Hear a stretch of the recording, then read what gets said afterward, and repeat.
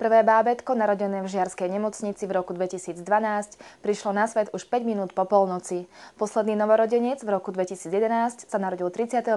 decembra krátko pred 20. hodinou. 1. januára 2012 krátko po polnoci sa v Žiarskej nemocnici narodila Kristínka. Tá sa zároveň stala prvým novorodencom v Bansko-Bystrickom kraji. Zaujímavosťou je, že mama malej slečny, taktiež Kristína v Žiari nad Hronom len sviatkovala. Tak boli sme teda u priateľa sme strávili Silvestra, tak to nás prišlo nečakane. 25-ročná prvorodička pochádza z obce Žirany pri Nitre. Pôvodný termín pôrodu mala vypočítaný na 12. januára. Kristínke sa však na svet zachcelo skôr.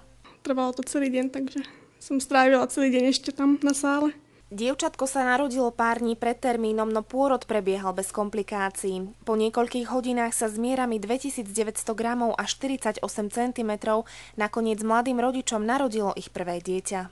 No tak trošku to bol strach, lebo človek to nikoho nepozná v kvázi, ale tak dopadlo to dobre.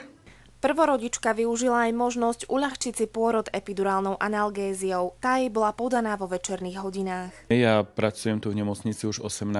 rok a toto bolo úplne prvýkrát, čo takéto niečo som prežíval. E, musím povedať, že možno s výnimkou jedného alebo dvoch rokov, kedy som slúžil na záchranke, tak všetky silvestre som odslúžil na tomto oddelení ja a je to práve o to väčší zážitok aj pre mňa, že som po toľkých rokoch mohol byť prvýkrát prítomný pri tom, že vlastne spolu s Novým rokom prichádzal na svet aj nový život. Výsledkom posledného, teda 534.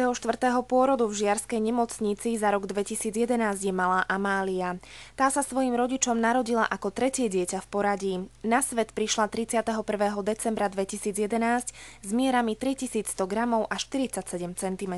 Boli to štandardné pôrody bez akýchkoľvek komplikácií, spontánne, mamičky a deti sú zdravé. Tak Trojkráľový piatok, teda 6. januára, sa konečne narodil aj prvý žiarčan.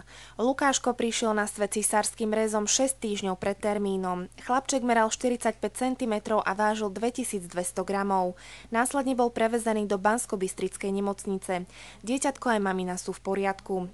V porovnaní s rokom 2010 sa o rok neskôr, teda v roku 2011, narodilo v žiarskej pôrodnici o 9 detí viac.